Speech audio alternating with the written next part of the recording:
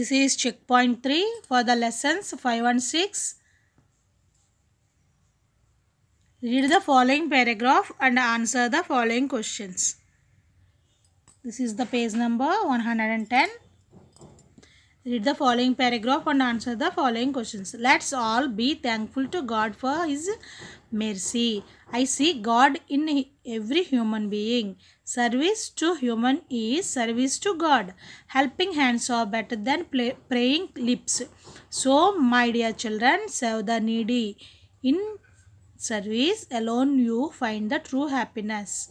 God bless you. This is the paragraph from the Wondrous Woman. These words are uh, told by Mother Teresa to help the poor, to help the needy. So we have to answer the multiple choice questions through this paragraph. I see God in every human being who said these words. I see God in every human being who said these words. Mother Teresa, Shakuntala Devi, Mary Kom. Mother Teresa is the answer. Why should we all be thankful to God? For His mercy, for His anger, for His humor. For His mercy, we should thankful to God. So A is the answer. Helping hands are better than praying lips. What does it mean? Praying, pray to God, serve the needy, hands are good. Serve the needy. The sentence helping hands are better than praying lips. The meaning of this sentence is serve the needy. So B is the answer. What is the antonym of bless? Antonym means opposite word. What is the mean? What is the antonym of bless? Is wish, kind, curse. Blessing means మనల్ని wish చేయడం మంచిగా wish చేయడం curse means శపించడం C is the answer where do you find true happiness in service in wealth in quarrelling in service we should get true happiness by doing service a, A, B, C, A is are the answers. Next, unscramble the letters to make meaningful activities and write in the blank. This is the word poor, P O or poor. This is the word delicious, D E L I C I O U S, delicious. W I C E I S E, wise, sweet, S W E E T, sweet. H A P P Y happy. The words are poor, delicious, why, sweet, happy. Next third Roman page number 111. Find out the expression whether it is asking for permission or asking permission in a polite manner or ability or inability, taking permission or giving permission and fill in the blanks. Mm, by these expressions we should write asking permission or uh, ability or inability or uh, whatever the sentence is we should answer can i sing a song? This is uh, asking permission in a polite way.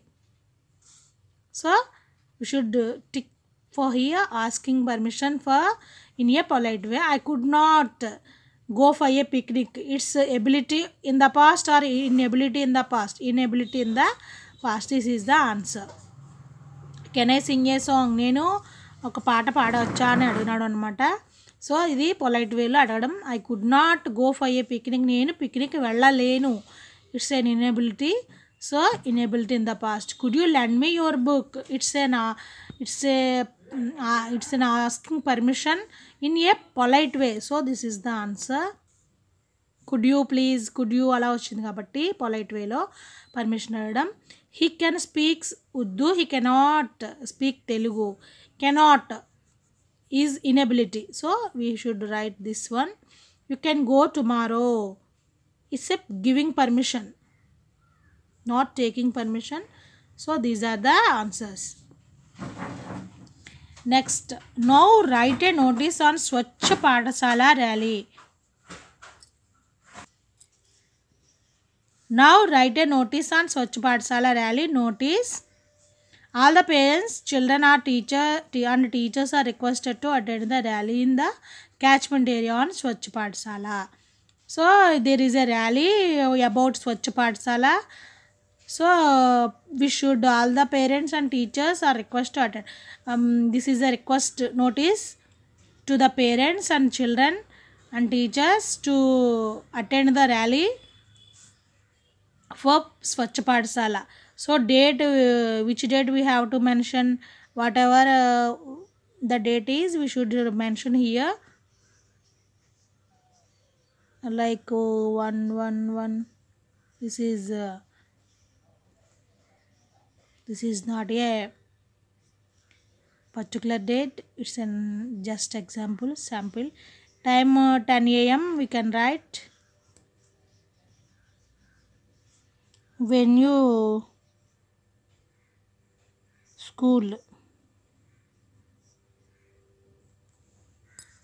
Other details about the rally are available with school headmaster.